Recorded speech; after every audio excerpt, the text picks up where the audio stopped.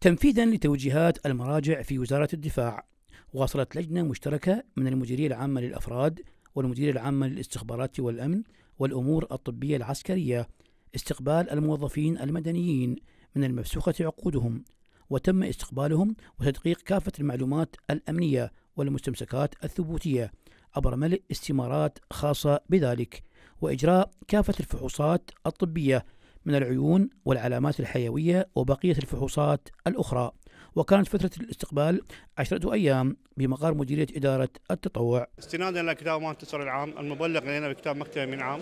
وحسب توجيهات السيد مدير عام الأفراد تم تشكيل فريق عمل من قبل مدير عام الأفراد لغرض استقبال الموظفين الموظفين المفسوخة عقودهم.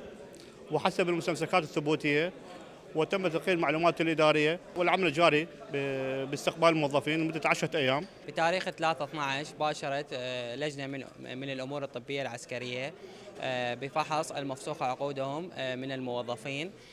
وقامت اللجنة الطبية بفحص المفسوخة عقودهم. ويشمل الفحص؟ فحص العيون وفحص الوزن والطول. وفحص العلامات الحيوية وقياس الضغط للمفحوصين.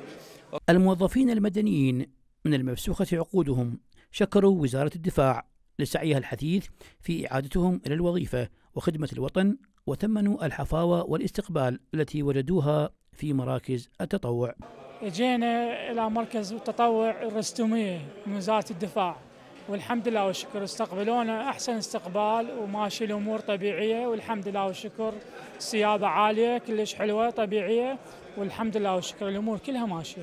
مبروهات من وزارة الدفاع. مقلة سوبوزيوات كان مراجعة مديرية إدارة التطوع في الرستمية وتم استقبالنا من قبل لجان وزارة الدفاع وتدقيق المعلومات الأمنية والفحوصات الطبية. ونشكرهم على حسن الاستقبال والمقابلة لعودة الموظفين المفسوقة عقودهم عودة للخدمة.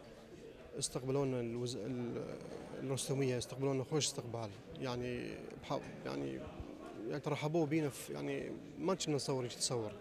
والطبابه يعني حيل حيل تسهلوا امور ويانا صباح الخزعلي إعلام وزارة الدفاع.